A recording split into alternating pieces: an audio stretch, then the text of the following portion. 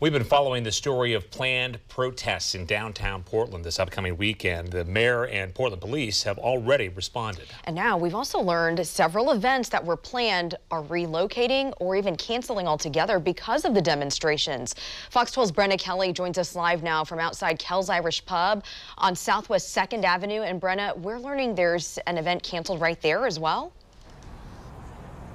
That's right, Liz. Twice a year, Kells hosts an amateur boxing match called Summer Smoker. They were expecting hundreds of people here Saturday, but now they, like other event organizers, have to cancel because of planned protests nearby. It's never easy to cancel an event so many are looking forward to. The sad part of it is, too, there's a lot of kids that train all year, these young boxing, these athletes. The owners at Kells releasing a statement today they'd have to cancel Summer Smoker, their live amateur exhibition boxing match, because of planned protests on the Portland waterfront. When we found out about all the commotion going on, we just thought it would be prudent for our staff and our patrons to not have the event. And they're not the only ones. Organizers of Portland's streetcar scavenger hunt are also canceling, hoping to reschedule for another day. They still plan to operate the streetcar, telling me they will until it's no longer safe for operators or passengers.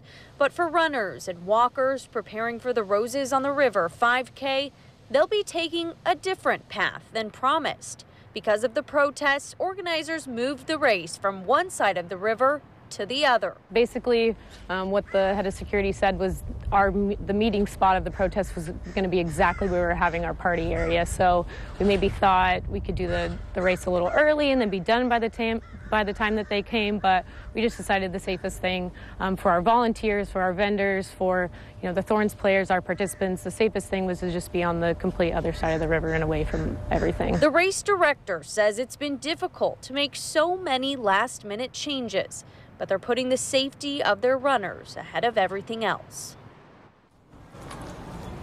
And everyone I spoke with today says it's going to be a very fluid situation. They'll have eyes at all times on what's happening and beef up security or completely shut down if need be. Here at Kells, I'm told they'll even board up in the most extreme circumstance. Reporting live in downtown Portland, Brenna Kelly, Fox 12 Oregon.